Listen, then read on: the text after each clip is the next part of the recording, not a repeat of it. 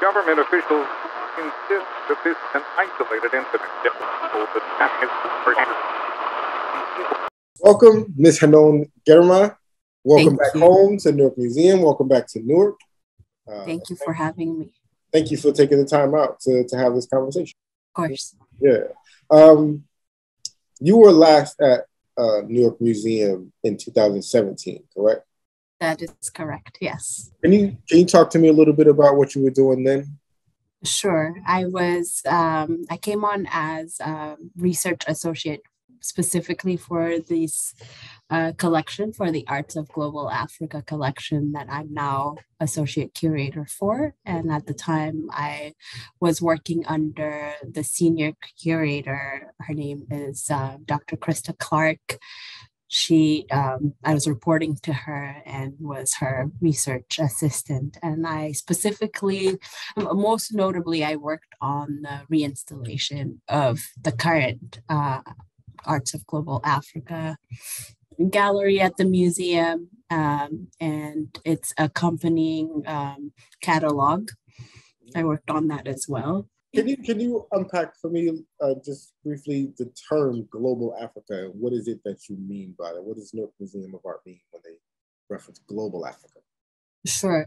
Um, Global Africa, um, it, it's to say that the collection is comprehensive. It includes contemporary art as well as historic, uh, and it covers geographically uh, a good number of, not all 54 countries, but a good number of the countries. It also covers the diaspora.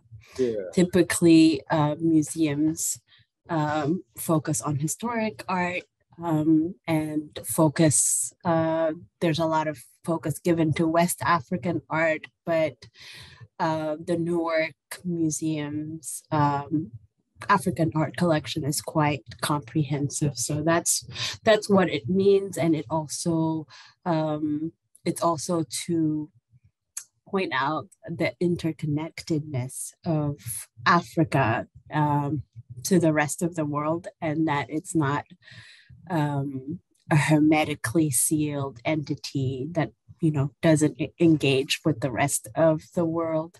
It influences the rest of the world and the world is influenced by africa. So that's what global africa means Oh, I do want to talk a little bit just about your work as a curator. yes Newark, as you know, is a very art forward city. A good number of art galleries and museums and, and universities and other, you know, art and culture institutions throughout the city. Um, so the term of a curator is not foreign uh, to us. But can you talk a little bit more in depth uh, in terms of what it is that uh, you're doing as an as a curator? The making of exhibitions is a big part of it. Uh, but also, it's really caring for the collection. Um, it's the stewarding of a collection, making sure that um, the collection is protected and as well as promoted. Um, but I think uh, the biggest part of it is making exhibitions, oversee loans. Um, if another exhibition uh, requests um, to borrow objects, you you would give your recommendation. You um, uh, would also uh, incoming exhibitions as well, or loans as well. Um, you know, to request objects for your exhibitions would be part of it. Acquisitions, uh, artworks, objects being um, bought by the museum. Yeah, I would make my suggestions on what to acquire and um, you know give my recommendations and Yeah. so forth. So that's all part of uh, curators. let's talk a little bit about you know what uh, what isn't being seen per se. So, for example, you know, it, with your particular history, you know, uh, you spend a good amount of time uh, in research. And Research, yes. There's a, there is a depth to your familiarity with a collection or an artist or, or you know, or, uh, a genre of, of art that uh, doesn't get seen in the exhibit.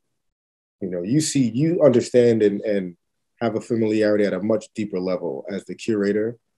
Um, and you have a so much uh, more nuanced appreciation, uh, I would imagine, of uh, the context of the exhibit. Uh, yes. So selecting what pieces are actually going to be shown, but you also know why those pieces were chosen and where there is commonality, where there is a narrative and what that narrative speaks to. Um, that um, folks who are visiting the museum just for the beauty and and you know an appreciation of uh, the the visual exhibition might not quite connect with. How do you kind of close that gap if if it's possible? Yes. Um, well, there is um, close work that the uh, curator does with the education and interpretive part of the museum, department of the museum. So there's a lot of co- collaboration and listening to that department on how to convey these um, ideas to the public. And uh, the public doesn't necessarily have to um, take away everything that I, you know, that I intend uh, for them to take away. You know, it could be just enjoyed for for the sake of enjoyment. That's uh, perfectly fine. And uh, but but there's close work with the education department to to um, facilitate you know accessibility and you know um, understanding of concepts and ideas behind the artwork and exhibition what what is it or what was it about newark museum of art that was or or this particular role that was especially attractive to you yes uh, so my, my previous um, my previous work in the department. Uh, it was quite educational. My background is is quite unique for a curator. Typically, curators are art historians, uh, have art history um, degrees, and um, and that that's not my background. It's uh, it's quite different.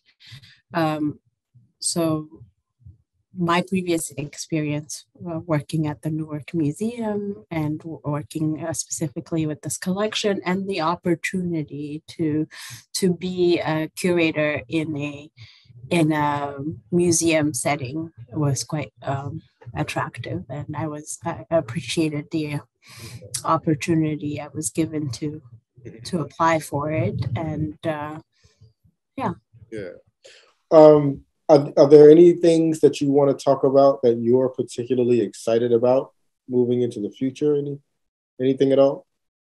Uh, you mean specifically at the museum? Yes. Yes. um, yes, I'm uh, quite excited um, about uh, creating uh, exhibitions. Um, but there is a section of the museum called the Global Contemporary, where um, contemporary artists are invited to respond to the collection, to any part of the museum's collection. I, am excited to work on that. Um, the Ballantine House is uh, being re renovated and um, reinstalled. So um, there's going to be an opportunity for all parts of the curatorial department to work on that collaboratively. So I'm quite uh, excited and looking forward to that. Awesome, awesome. Thank you so much. I really appreciate uh, getting a chance to talk to you and to meet thank, you. Thank you. I appreciate you inviting me. I hope I hope this was a good. I was telling Alexa this is actually my first time ever being interviewed uh, and That's talking to press. So okay. I was a little bit nervous, but I guess it worked out. Yeah, definitely, and I and I'm sure I'm going to want to do it again as as collections come together and are exhibited and whatnot. Uh, yes, yeah, that would be that would be great.